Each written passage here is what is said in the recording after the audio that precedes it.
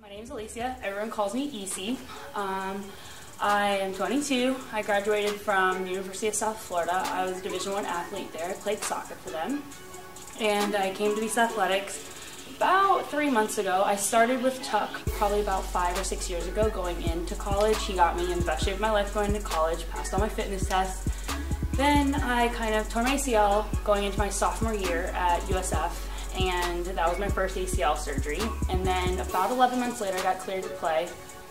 Did all the preseason workouts, whatever. Third day of preseason, tore my other ACL. And I was like, all right, my life's pretty much over. At that point, I had gained 40 pounds since my first ACL surgery.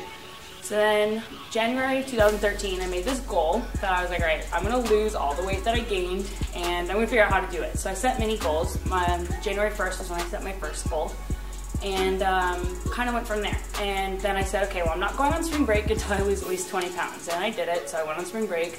Then shortly after that, probably about three months or four months later, I spoke with Tuck again, and he was like, you know what, come try Beast Athletics again. So I was like, yeah, let's do it.